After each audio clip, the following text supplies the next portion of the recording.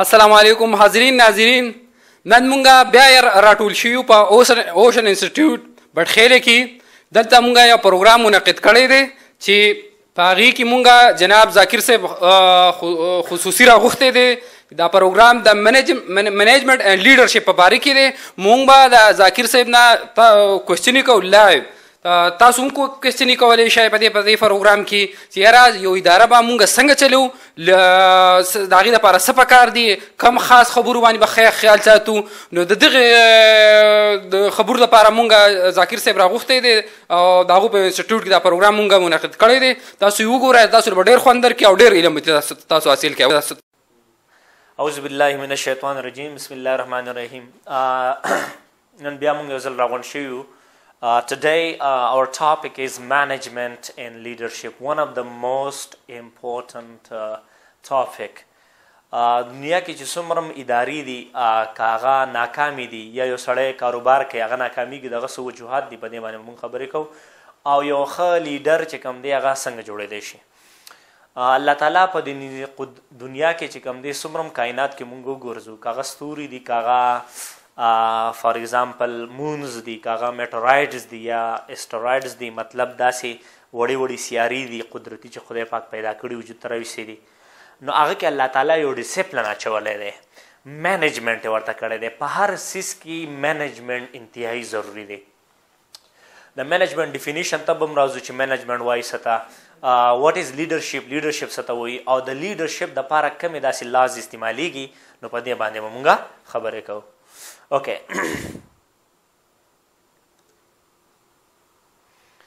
اولنې دی چې کله مونږ دا وګورو نو د دې نه مونږ سره مختلف سیزونه چې کوم دی لکه مونږ پوه شو Describe the difference between managers and operative employees نمبر 1 دا خبره ده چې لکه زموږ سره په مینیجر کې لکه مینیجرز او امپلویز کې فرق سوي سي او مینیجر سوګ وي خو د دې نه مخکې مخکې چې کوم دی لکه ارګنایزیشن چې کوم دی لکه ډیفاین کول مونږ ته پکار دي چې وات از ارګنایزیشن سو اوکې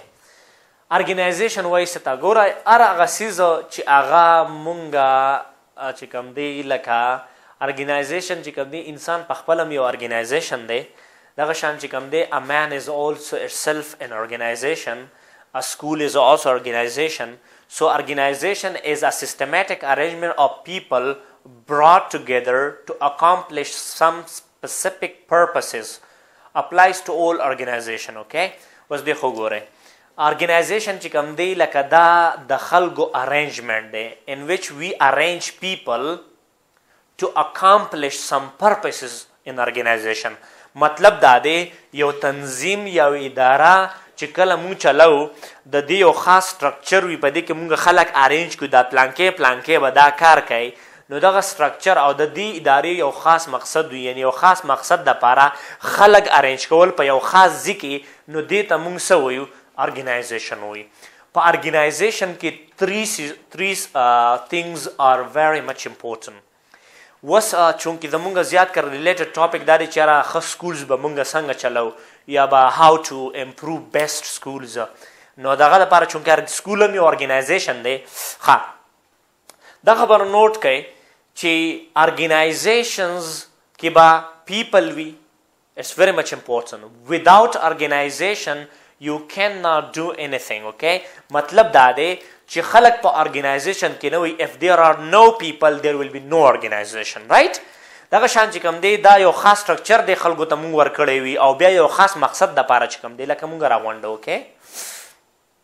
ها ارګنایزیشن چې کوم دی په دنیا کې دوه قسمه ارګنایزیشن دی یو ته نن فرافټ ارګنایزیشن نه کوم ته چې مونږ انجیوزم وایو یو دی فرافټ ارګنایزیشن لکه اوس فار ایگزامپل زمون سره یونیورسيټیان دي یا سکولز دي پرایویټ سکولز دي دا ټول ارګنایزیشنز دي رائټ یا یو ډف کمپنی دا یا کیس یو کمپنی دا یا مرسډیز کمپنی دا دا ټول چې کم دي لکه دا څه شي دي د آل ار ارګنایزیشنز اوکې سو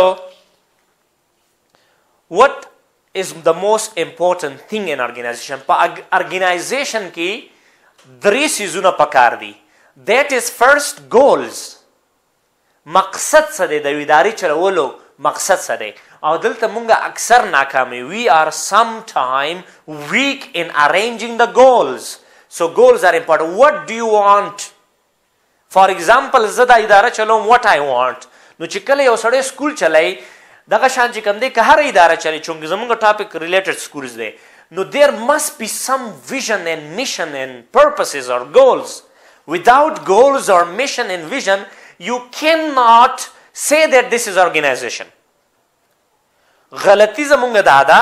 چې نن موږ دا وایو چې یاره دا بعضې سکولونه ډېر زیات وي کي د هغه وجه دا وي چې دی ډونټ هیو دیس ثینګ دی هیو پیپل دی هیو بلډینګ دی هیو سټرکچرز بټ دی ډونټ هیو دیس ثینګ ګولز ګولز از جسټ وي سه مقام مقصد چرته تلل غواړي یو سړی او ګولز په ژوند کې چې کوم دی لکه ډیر زیات ضروری دی سو سټرکچر ان پیپل دی ار ویری مچ امپورټنت اوس په یو یو باندې بیل بیل باس کو سې ده کنه ګولز مطلب دا وګوره اټس ا ګول دیس از سټرکچر and these, these are people okay now چې کله موږ سکول سره راسو راشو نو سکولز کې به دا چل کو چې a best school will always have goals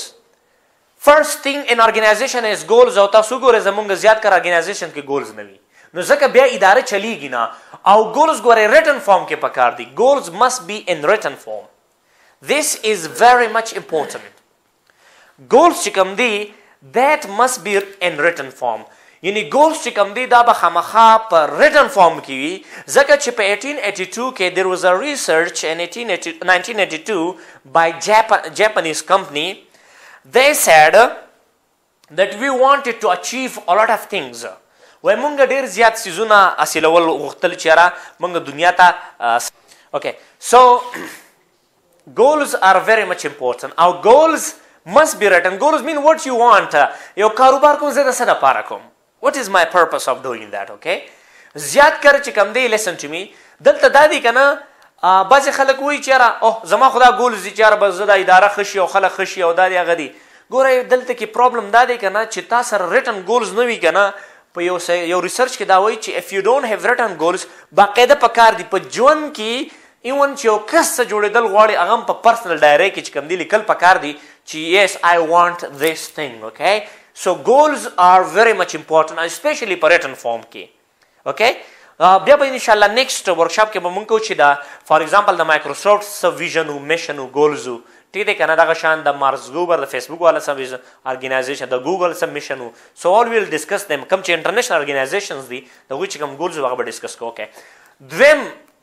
چې کوم دی په ارګنایزیشن کې سټرکچر پکار وي سو سټرکچر از ویری مچ امپورټنت واټ از سټرکچر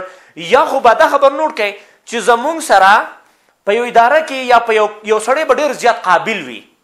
یا یو سړی به فار ایگزامپل کمپنی به چلولی شي خلک به ورسره تکړه وي خو دا خلکو چې کوم دی د دې ارینج کولی به نشي ارینجمنټ به نشي کولی بیکاز دیس مین ډزنټ نو د سټرکچر سټرکچر مطلب دا دی کنه چې ټو ګیوټ ا پرسن د رائټ پلیس د رائټ جاب ان ارګنایزیشن یو پی ایچ ډی ډاکټر ما راويسته دی او هغه پی ایچ ډی کړی دا په انګلیش کې فار ایگزامپل هی از ډن پی ایچ ډی ان انګلیش لټریچر او زما ولور کړی چې ارته د نسری کلاس ته کینه غنا او دی ته چې کوم دی علی بی پیخه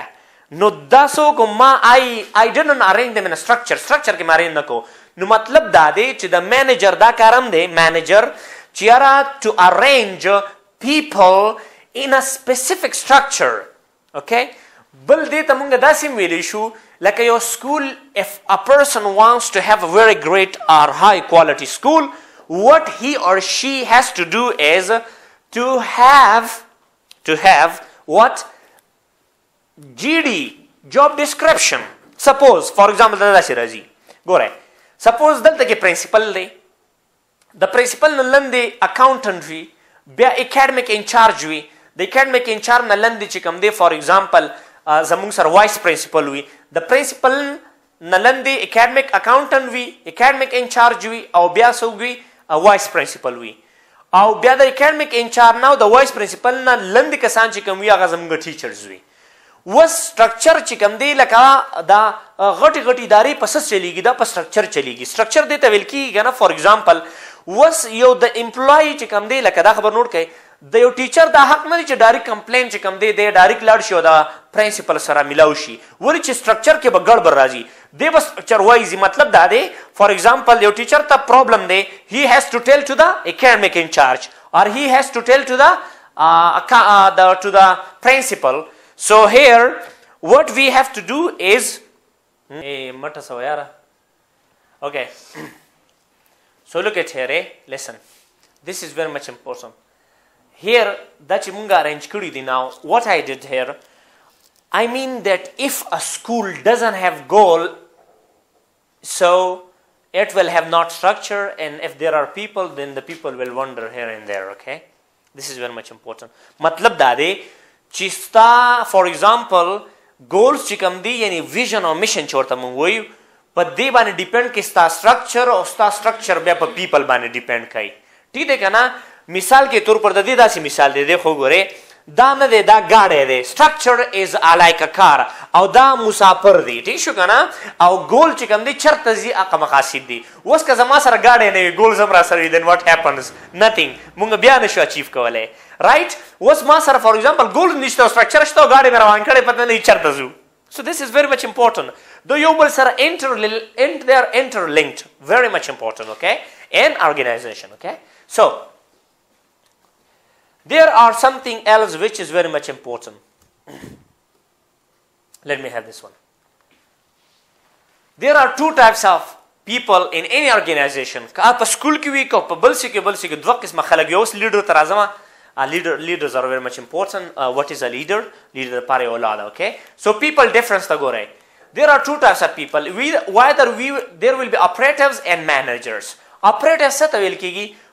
People who work directly on a job or task and have no responsibility for overseeing the work of others, according to Stephen Robbins, هغه دا خبره کوي یو بوک لیکلی فنډامنټلز اف منیجمنت ون اف د بیسټ بوک ان د ورلد هغه لیکلی دی هغه وایي که نه چې اپریټیوز هغه خلک دي چې هغه ډایرکټ په ټاسک باندې کار کوي لکه اوس یو سړی په سکول کې یو ټیچر ټیچینګ کوي نو دا اپریټیو دی Manager څه ته ویل کیږي؟ Individual in organization who direct the activities of others Manager هغه کس ته ویل کیږي کنه چې هغه دغه اکټیویټیز دا کم کس چې کم اپریټر دی د د اکټیویټی مینج کوي او دی مینج کوي چې هر ته دا کار څنګه کوي رائټ اوکې وات هپنز دیر زمونږ غټه مسله دلته کې راشي لکه په یو سکول کې ټیچر دی هغه پاس هغه د مینیجر کار کوي نو بیا په سټرکچر کې غلطي راشي لکه اوس فار اګزامپل آی ایم اپریټر اپریټر مطلب دا دی زه یو ځای کې ټیچینګ کوم زه یو په یو کلاس کې یم نو زما د کلاس روم پورې حد دی ما ته دا نه دی پکار چې زه دا ووایم چې یاره نه دا کلاس ولې خراب دی دا پلان کې ولې خراب دی مینیجرز کار دی اوس که تا ته په سکول کې دا ټاسک درکړی شي نو شاید بیا ته وکړه خو لیسن دی اف یو ار اپریټرز بی شوډ بی اپریټرز زمونږ د سکولونو حالاتونو حالات ولې خراب دي یو ټیچر به راپاسي ټیک شو منیج د پرنسپل ته به قړتیږي او وایس پرنسپل به پریدي کوم چې منیجر دی ټیک دی کنه دوی ما داسې هم کې دي شي اوس دی خو ګورای زمونږ سټرکچر ولې خرابېږي چې دا کوم منیجر زوی په سکول کې یعنی پرنسپل زوی دوی اکثر نیپوټیزم کوي نیپوټیزم مطلب دی ماما زوی دی دا یو ټیچر جو دا د خبره مني د نورو خبره نه مني نو سټرکچر کې بیا هم پرابلم راتلی شي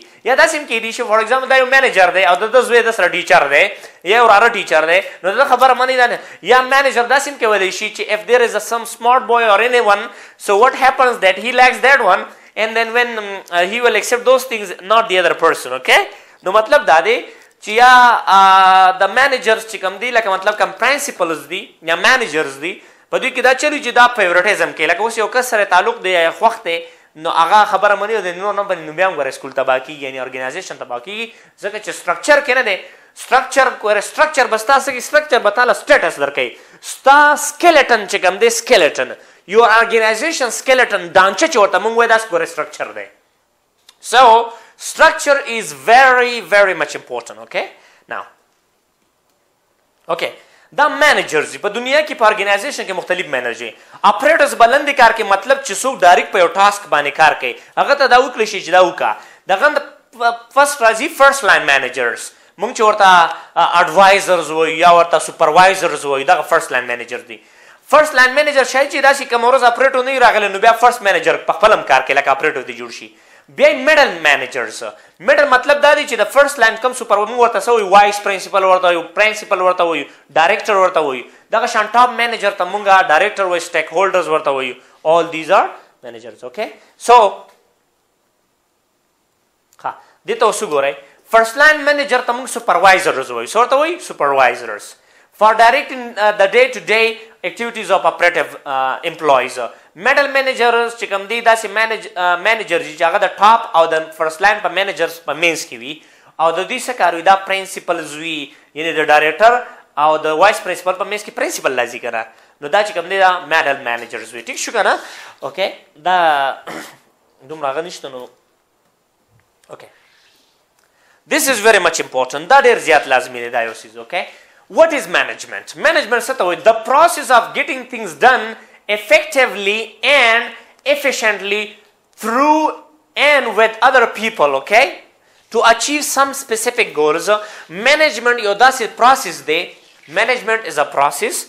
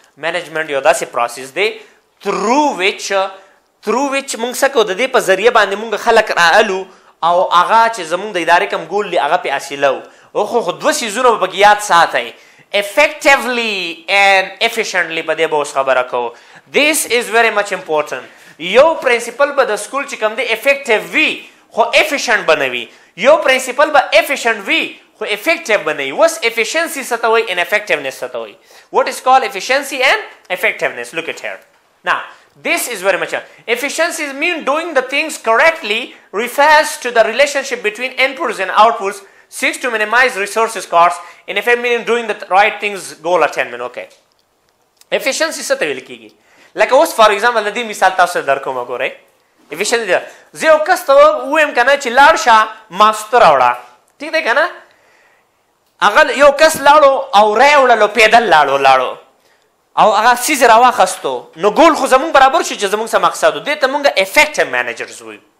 چې دا افیکټیو کس و دا کم کس یا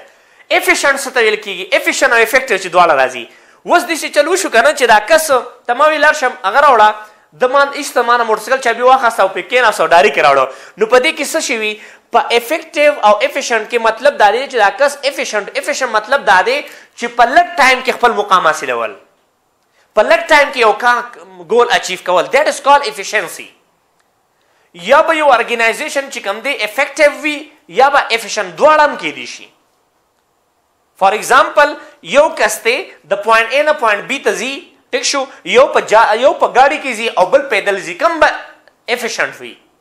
مطلب ټایم به کم بچت کوي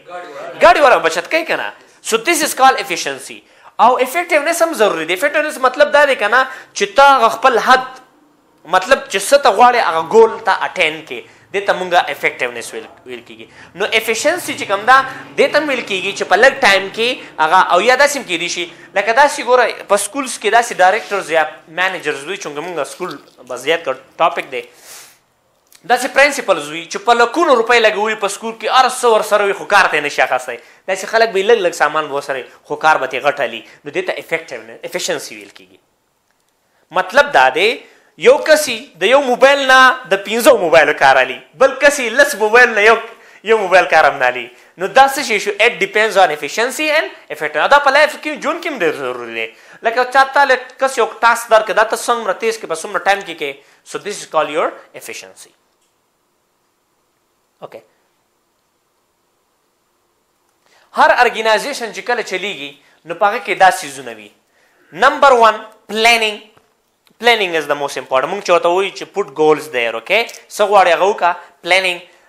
دین وی هاف ارګینایزینګ هغه پلانینګ ارګینایز کول مطلب دا دی لکه اوس تا ګولز کیښودل ډیفاینینګ ګولز اسټابلیش سټریټجیز ډیولپ د دې لپاره لکه زه اوس وایم کنه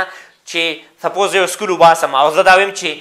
مای سټوډنټ زما پلنې ګول دا دی چې مای سټوډنټ مس سپیک عربیک ان د سکول زه دا وایم چې زما ماشومان دې خامخا عربي ووایي نو د عربۍ لپاره سټرټيجي ون دا دی، سټرټيجي مطلب دا دی چې څنګه به دا ګول موږ حاصلوو، اول دا دی چې زه به د عربۍ کتابونه را پيدا کوم، زه به ټيچر د عربۍ نيسم، دلته کې به ماحول د عربۍ جوړوم، نو بيا به څه کېږي زه به هغه ګول، دې ته سټرټيجيز ويل کېږي، نو مطلب پلانينګ وشو، بيا به ارګنايزينګ مطلب، ارګنايزينګ مطلب دا دی چې اوس د کوم جابز تقسيمول په ارګنايزيشن کې ټيک شو که نه،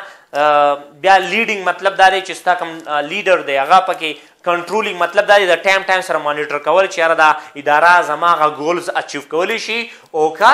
نشي اچیو کولی ټیک دی ښه اوس